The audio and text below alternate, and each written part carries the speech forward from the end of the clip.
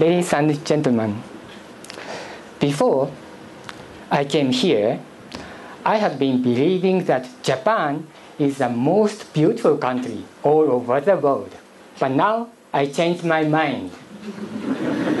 Japan is one of the most beautiful country as well as Colombia. I consider why. Because Colombia and Japan have much in common. The keyword is gold. Colombia is widely known as El Dorado, Golden King. In fact, Japan was called as Land of Gold. A Venetian merchant Marco Polo reported Japan as Zipang, the land of gold. He said, people on the island of Zipang have tremendous quantities of gold. The king's palace is roofed with pure gold, and his floors are paved in gold two fingers thick. But in fact, he'd never been to Japan. It is not true. But still, at least partially, it was correct. Great Buddha of Nara world's largest bronze statue of Buddha. When it built, we used 150 kilogram of gold, and for refinery, we used one ton of mercury. And also, we have golden hall. Konjikido is covered with gold leaf both inside and out. There are many metal deposits in Japan. Japan was a leading mining country just like Colombia. And in the era of Columbus, the Zipang was believed to be close to Colombia. It is partially believed that Columbus set out on his voyage in search of the Asian land of gold, Zipang, but he found out El Dorado. Colombia and Japan are so to speak golden pair. Colombia, El Dorado, mystical city of gold. And Japan, Zipang, the land of gold. We found I found out another point in common. Calderas and Mount Fuji, yes, volcano. In Colombia, there are 16 volcanoes, and in Japan, we have over 100 active volcanoes. There are many blessings of volcanoes. First, fertilization of soil. This is typical rice field and typical beautiful Japanese lady, my wife. and typical pretty girl, my daughter. and geothermal energy. We have many geothermal energy plants. And of course, hot springs, we call it onsen. The location, uh, popular hot spring area and the location of volcanoes are very identical. And also, volcano give, give us mineral deposits mining. But not only volcano gives blessings, but also problems. For example, acidify the water environment. This is an example of acidified water. So here I'd like to mention about the generative mechanism of acidic water for volcanic system and mineral deposits. Very briefly, in Japanese volcano contains plenty of sulfur and other acidic gas. And when groundwater contaminated, the sulfite is oxidized into uh, sulfate, like sulfuric acid. Then when the water vapor separation stage, the insoluble components like carbon dioxide is going to vapor and make volcanic fumarole. And water soluble chemicals such as sulfuric acid and hydrogen chloride is going to hot spring water. That's like Tamagawa hot spring with pH is 1.12. And another mechanism of acidic water. In Japanese case, many popular mineral deposits are sulfide. So in Japanese case, the groundwater came to the sulfide minerals. The sulfide is oxidized by water, groundwater, and make sulfuric acid, then acidify the river. There are two types of acidic uh, river in Japan. Natural one. The problems. What is the problem of acid water? The firstly, we can say degradation of construction materials. This is an experimental example of deterioration of concrete due to kusatsu acidic hot spring water. Only one month the concrete is dissolved in, like that. And the degradation of construction materials restrict the industrial water use and restrict hydropower generation. And of course, in acidic water, no fish, no fishery. And degradation of soil introduce restriction of agriculture. And acidic water dissolve toxic heavy metals. About 50 years ago, Japan was a polluted island by heavy metals. There are three big world known diseases caused by heavy metal pollution in Japan. For mercury, first Minamata disease and second Minamata disease, and for cadmium, Itai disease. For mercury, the Minamata disease was reported on 1956.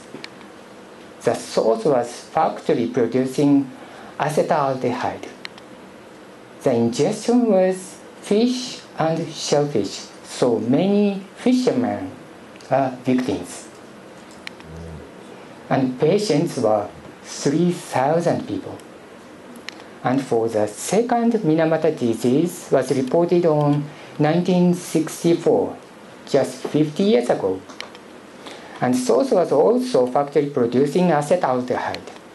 The ingestion was fish and shellfish again, and patients uh, 1,000, altogether 4,000 people as the victims. And this is uh, a Minamata aerial photo, 1963 and mercury contaminated sludge was dredged and deposited in the landfill site in Minamata Bay, this area. And 50 years later now, it is changed to Minamata Eco Park. But this landfill cost was 500 million US dollars. Very expensive. Only for this landfill. And how about cadmium? The Itai disease. It means it hurts. It hurts. Itai means hurts. Very, very painful disease. The source was zinc smelter. The ingestion is, many people believe that rice or other agricultural crops. And some people say, no, this is fish or shellfish it is still now controversial. and patients are 200. So about 9 square kilometer of farming field was restored.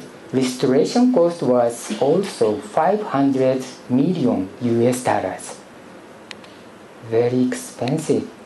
Those pollutions were not concerned with acid river water, but Japanese are very sensitive to heavy metal pollution for those diseases. The serious pollution problems intensively occurred during the high economic growth period around 50 years ago. These look like pictures, but in fact, those are photos. Left one is air pollution, and right one is water pollution.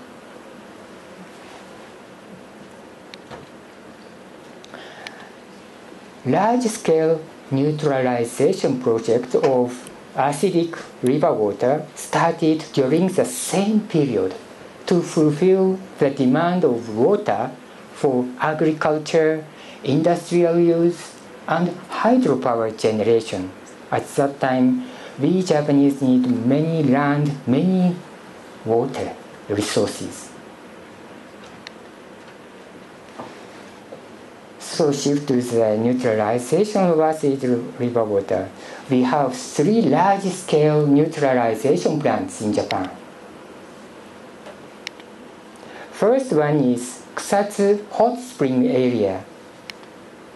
And second one is Tamagawa hot spring area. And third one is Matsuo sulfur mine. Two hot springs area and one abandoned mine. First, Kusatsu hot spring area. This is one of the most popular hot springs in Japan.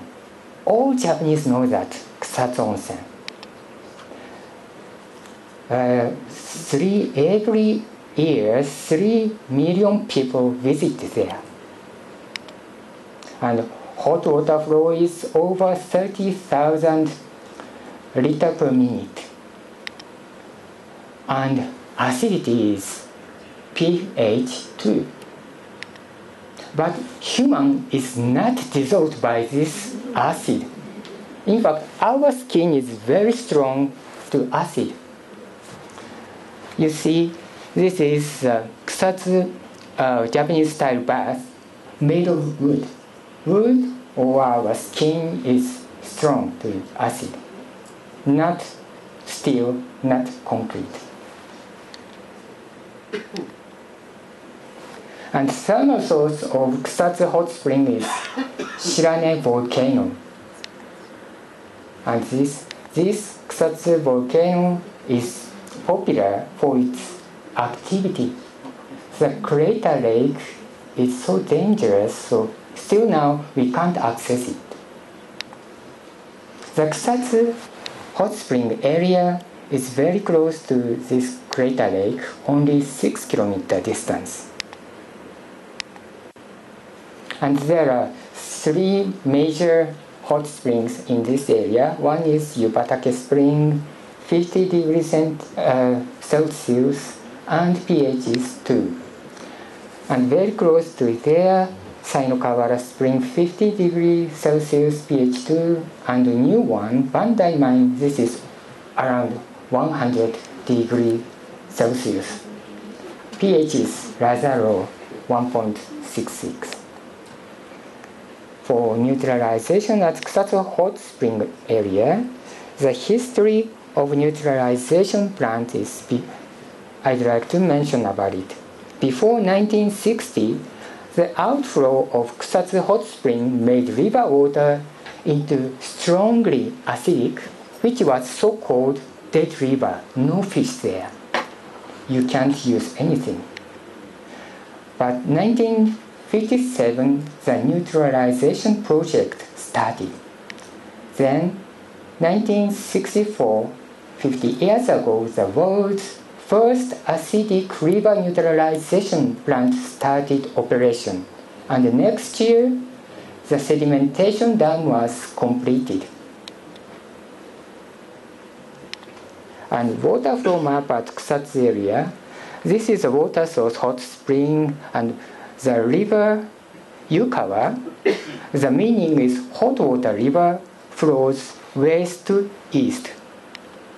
Then neutralization plant is here. After that, the pH is up to 5. Then go down to sedimentation dam. Then go down uh, the neutralized water around pH is 5.5 and down to Tokyo area, 200 kilometers south. The details of the neutralization plant. From the hot spring water, this is the Yukawa hot water river. Then partial water will be intake into the limestone silo. Then there limestone powder is injected, then making lime milk. The lime milk is injected into the acid river directly. The limestone input 54 ton per day, every day. That there is no neutralization tank, no flocculation tank, no sedimentation tank to remove neutralization deposit. Very primitive, very new, a very very primitive method. All the deposit is transported to the downstream, to the dam. After the neutralization pH is up to 5, the color of the river is changed into milky white by lime milk.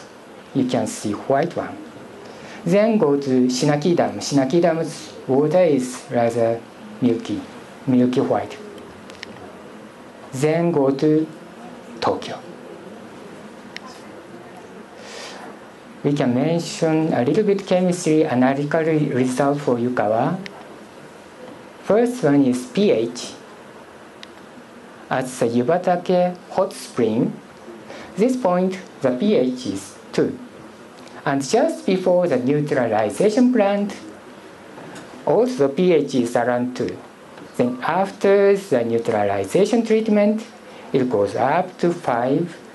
Then sedimentation dam 5.5 around uh, 5.5 then downstream it is around 6 analytical results for heavy metal is a little bit different. Uh, Yubatake, at the Yubatake hot spring this iron total iron concentration is around 20 ppm then just before neutralization plant it is around 10 ppm. Just after the neutralization plant, it goes down to 5 ppm. Then, before going down to the sedimentation dam, it is around 3 ppm. Then, downstream of sedimentation dam by 3 kilometers south, it is around 0 ppm.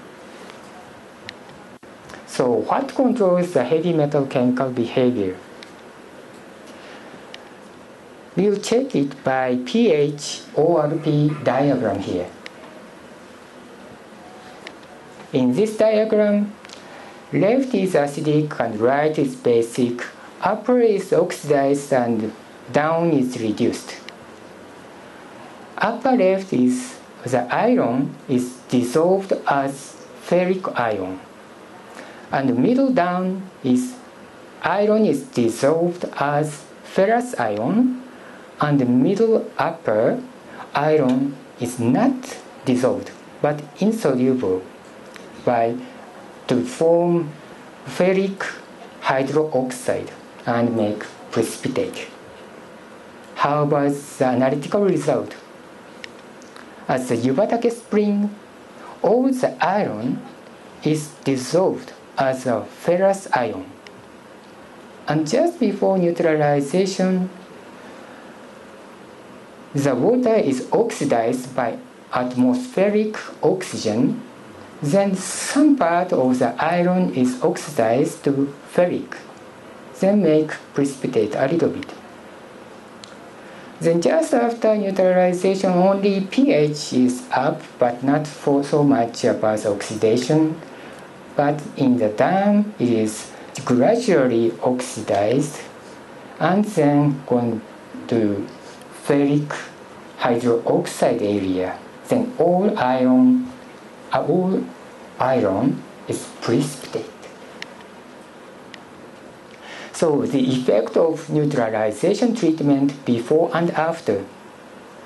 Before neutralization treatment, pH is 2 and after 5.5. Then iron 10 to down to 3 ppm. Then arsenic is 1.3 ppm to almost zero. It looks alright, but the story has not finished yet. For chemically, it's alright. But some problem. The, I mentioned about the iron, the precipitation of iron hydroxide. This neutralization process made high, uh, ferric hydroxide precipitates. This kind of deposit is occurred. And also for aluminum, precipitation is occurred as well. So limestone powder is consumed not only by H plus ion but also consumed by dissolved cations like aluminum, iron, or other heavy metals. Daily limestone consumption is 54 tons per day, I mentioned, and among them, for neutralize H plus, we can calculate 20 tons per day for neutralization. And for precipitation of aluminum, 10 tons per day. And to precipitate iron, 1.5 tons per day.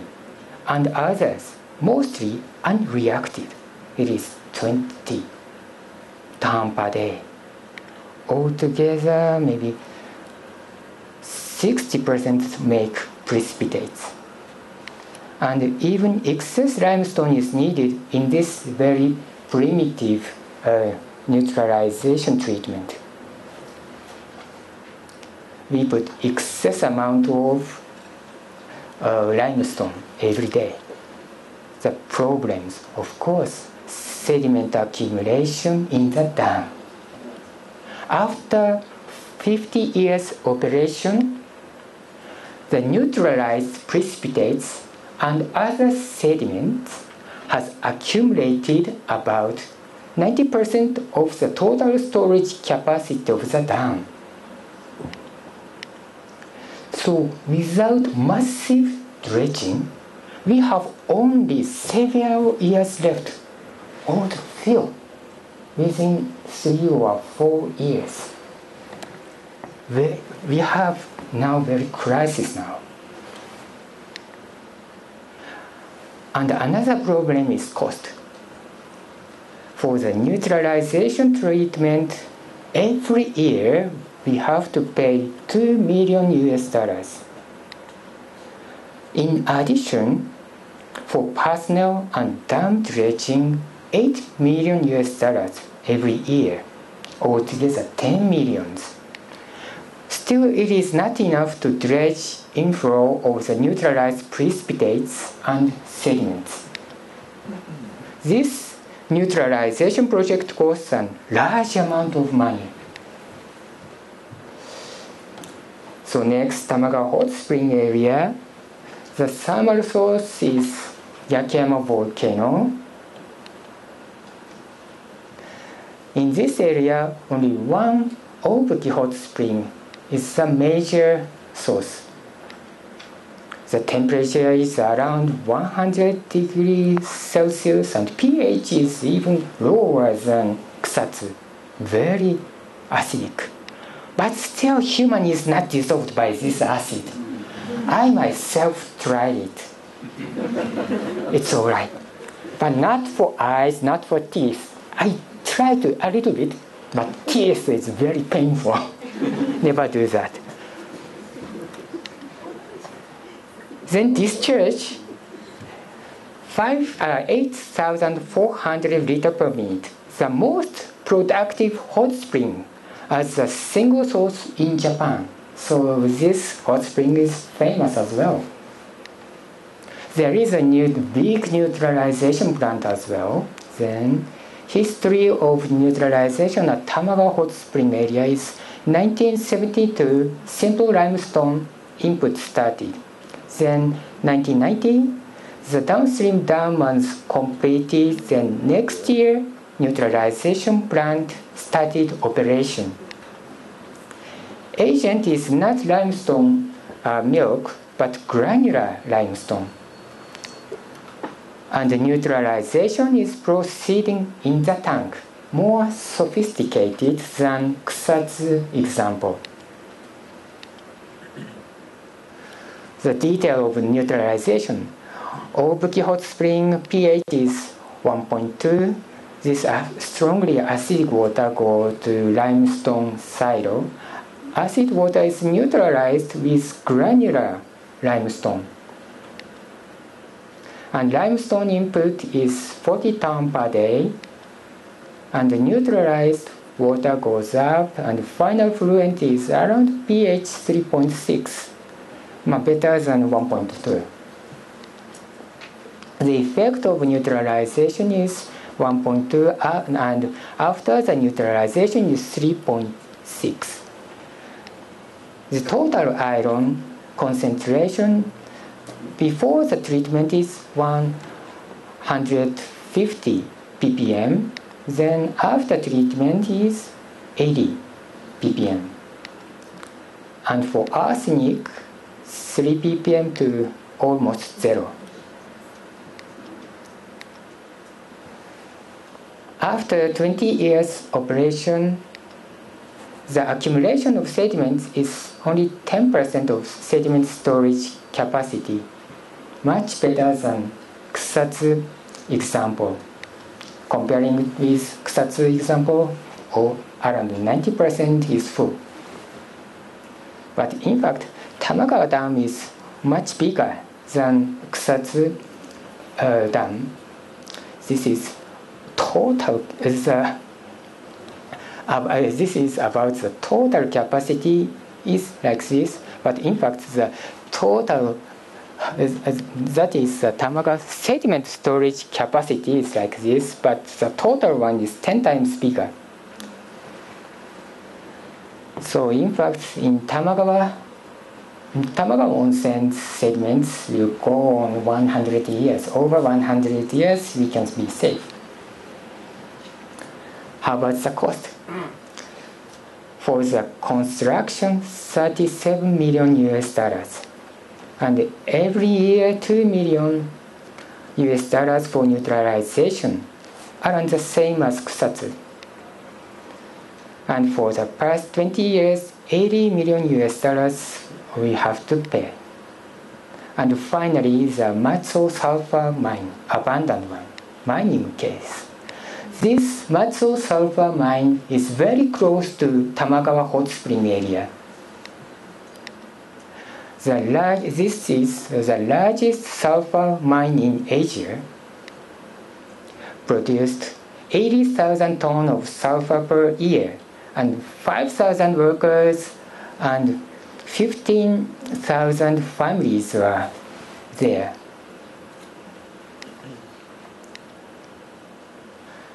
but no more. Presently, there is no sulfur mines in Japan. But, in fact, Japan is still a leading ex- exporter of sulfur. But how? We don't have sulfur mine anymore. But we are exporter. In fact, the sulfurization of heavy oil to prevent air pollution. So we Japanese import heavy crude oil and exports desulfurization product, sulfur. this is environmental business. The acid mine drainage of Matsuo mine was a serious environmental problem. This is uh, 40 years ago. The polluted river by acid mine drainage is like this. We call it Red River. But now there is a restored open pit site is here, then constructed neutralization plant, and then sedimentation pond very close to there. The outline of neutralization plant. Full-scale operation started in 1982, 30 years ago. The highly acidic mine drainage which contains toxic heavy metals continuously flow out at a rate of 18 ton per minute. The neutralization facility for Matsuo acid mine drainage is more sophisticated.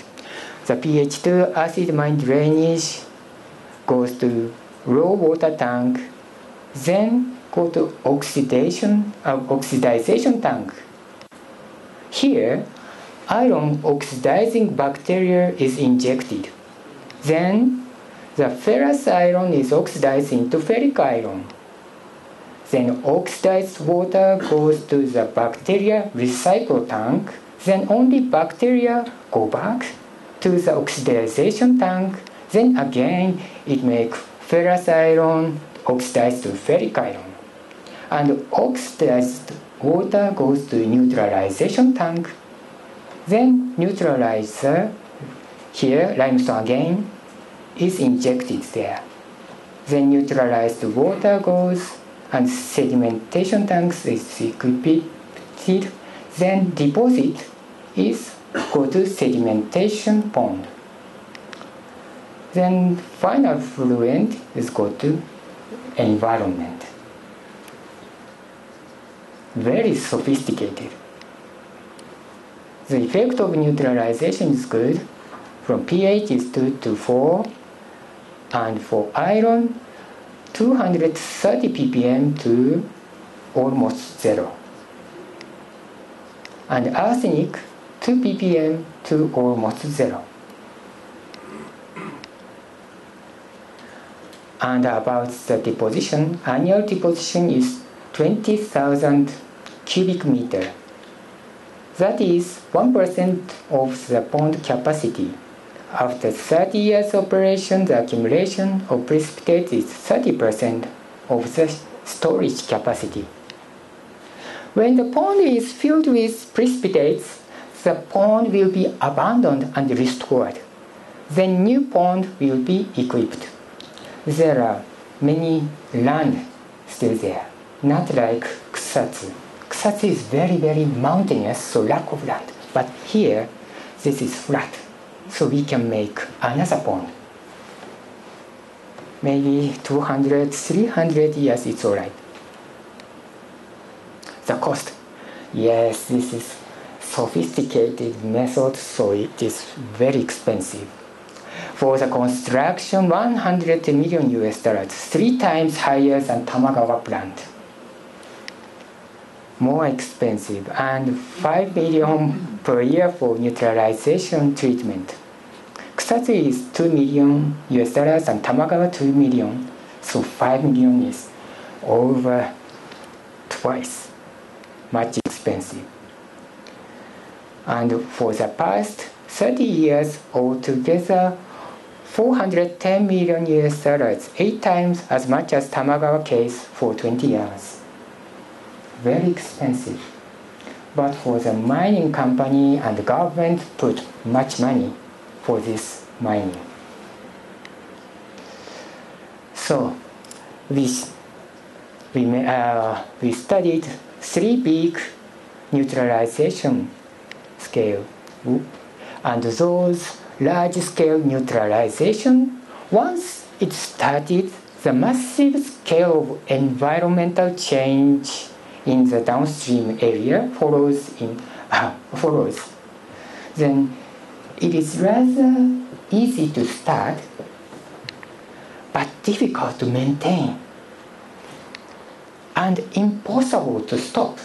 Once we do, we start the large-scale neutralization, the downstream area, they make hydro, uh, hydro generation power station or using ag- agricultural use or industrial use for plant.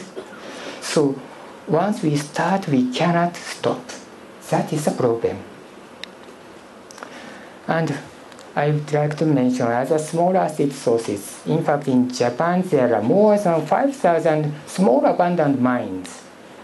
And polluted mine drainage outflow is found at 450 sites. And many cases, mine owners are missing, not like Matsuo mine. Responsibility is often unclear for small mines.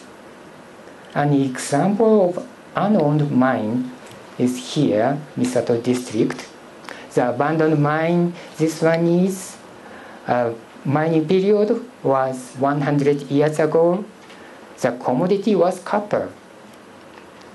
Then from the base of the spoil tip, sulfuric acid water is continuously flowing out still now. And flow rate is 25 liter per minute it is tiny comparing to Matsuo or Tamagawa. But still for the small villages big problems. The specific problems in this site is no mine owner, no payer, so no money. So point of the countermeasure is inexpensive method and low environmental impact. So methodology is using the classical one promote heavy metal precipitation before flowing out to the river. Some sort mixing of Matsuo way and Tamagawa. Neutralization and precipitation. NEC's neutralization facility impossible in this kind of large scale because for the lack of money. So we promote uh, to promote heavy metal precipitation.